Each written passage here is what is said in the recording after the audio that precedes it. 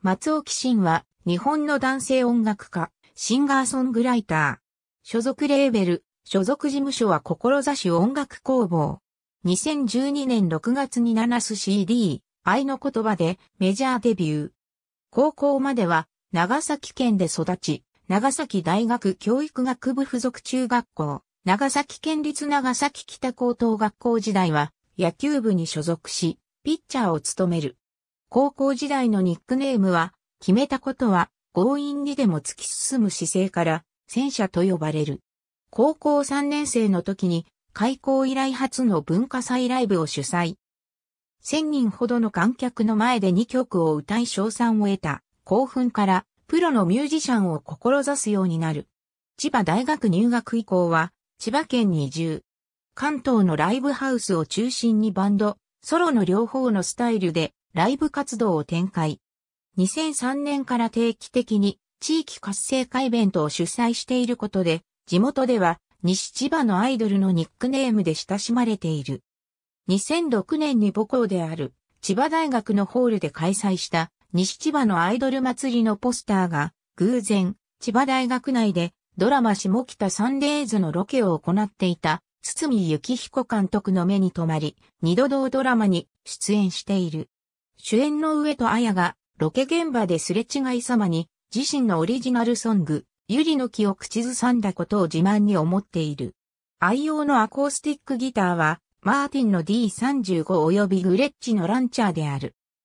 2007年のサード CD、君に読む物語は、余命半年と宣告された女性の講演を聞き生まれた楽曲で、この曲がきっかけとなり、全国の病院や高齢者施設、障害者施設をめぐるホスピタルライブを展開。その講演回数は2500回を超える。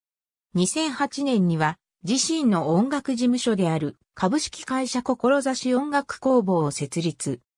幕末の風雲時、坂本龍馬のごとく全国を駆け巡り、既成概念にとらわれない独自のスタイルで社会貢献的音楽活動を展開する姿勢が認められ、2009年10月に高知県知事より高知県観光特使の移植を受ける。また、楽曲、暁にて、長崎龍馬フェスタ2010龍馬の歌音楽祭、グランプリ受賞。歌う坂本龍馬と呼ばれるようになる。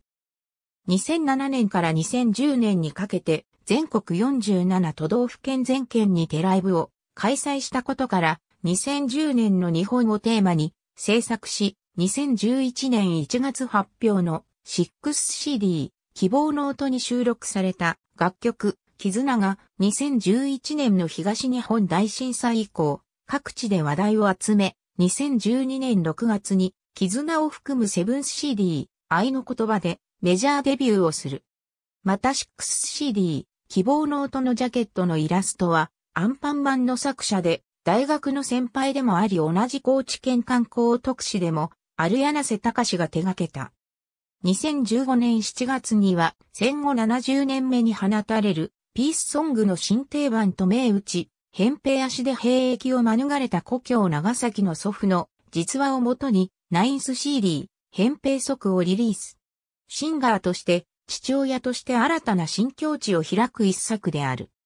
2020年4月18日には全国各地で10年にわたりチケットを販売し続けた松尾新2020年稲佐山外線ライブを開催する予定であったが、新型コロナウイルス感染症の発生及び感染拡大の影響を受けて1年後の2021年4月17日に延期することを発表した。